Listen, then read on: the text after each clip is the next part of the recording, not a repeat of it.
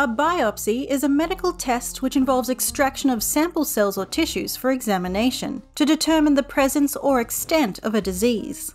Biopsies are most commonly performed for insight into possible cancerous or inflammatory conditions. When an entire lump or suspicious area is removed, the procedure is called an excisional biopsy. An incisional biopsy, or core biopsy, samples a portion of the abnormal tissue without attempting to remove the entire lesion or tumour.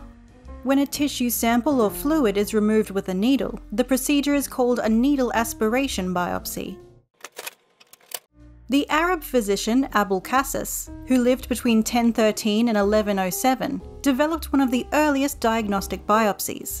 He used a needle to puncture a goiter and then characterized the material. The French dermatologist Ernest Besnier introduced the word biopsy to the medical community in 1879.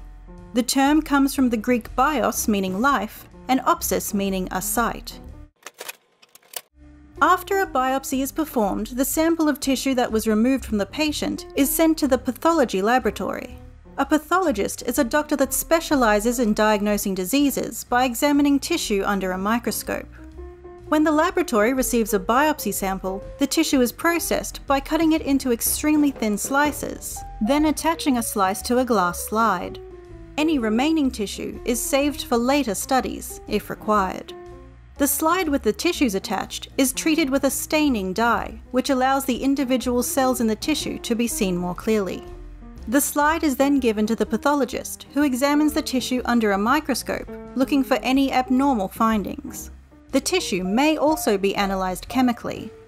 The pathologist then prepares a report that lists any abnormal or important findings from the biopsy. This report is then sent to the physician who originally performed the biopsy on the patient.